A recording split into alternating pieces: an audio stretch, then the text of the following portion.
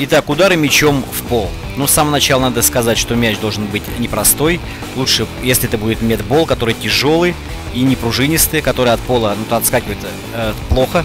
И чтобы он отпрыгнул от пола, должен быть удар очень сильный. О нюансах упражнения.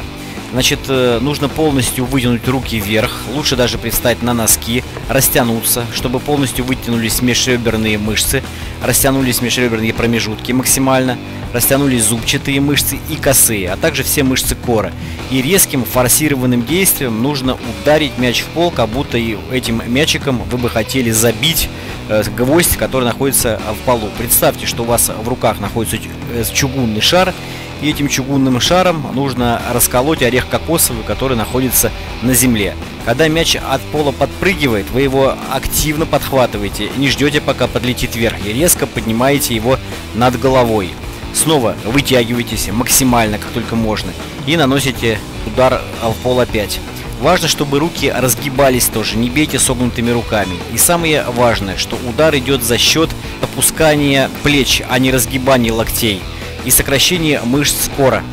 То есть должен обязательно работать живот.